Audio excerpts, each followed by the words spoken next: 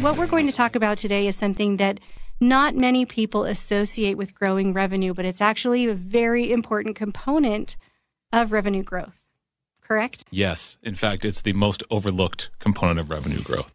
That's a tantalizing statement there. That is really fun to hear. So tell me, what is this most overlooked part of revenue growth? The most overlooked is compliance, and it's legal compliance because most people, when they hear legal compliance, not only do they start to fall asleep, their eyes glaze over, but they have no idea how it could actually benefit the company financially. So, when we were talking about this before, you had a few Yes. different points of some of the most commonly overlooked areas that companies are not compliant in, which Right, can right. really stunt the revenue growth. Yes, and I'm going to do the top five list so that everybody can have fun with this and have another top five list to put on the internet.